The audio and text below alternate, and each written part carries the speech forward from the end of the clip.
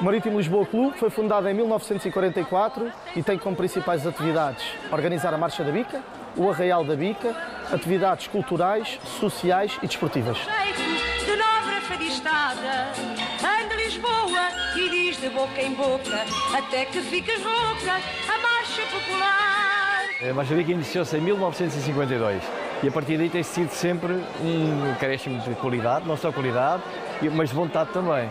Os ensaios estão a correr conforme nós planeámos. Começámos a planear os ensaios do ano passado e estão a decorrer dentro daquilo que está previsto. Ora agora já vive em bairro novo Anda aí na voz do povo a cantar o próprio fado Anda Lisboa, a noite é toda tua Então, nós temos uma marcha mais dinâmica, eh, mais ativa, com posicionamentos novos. Eh, Temos também uma marcha com muitos elementos de voo e acho que isso vai ser eh, muito giro das pessoas.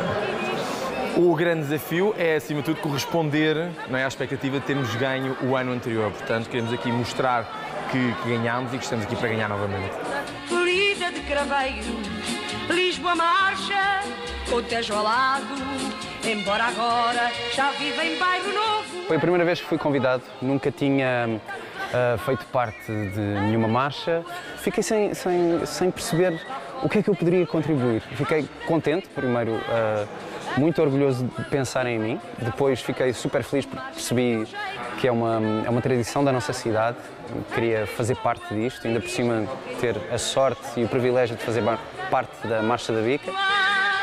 Anda Lisboa e vai de rua em rua A noite é toda tua Lisboa anda a cantar Lisboa canta A minha expectativa é sempre, vamos dar o nosso melhor sempre, mas essencialmente divertirmos. E acho que como no ano passado aconteceu isso, nós divertimos, vivemos o, o momento auge de descer à avenida, mas estávamos todos muito unidos e hum, diversão acima de tudo. E este ano a expectativa está lá em cima, espero que, que a gente chegue outra vez ao primeiro lugar.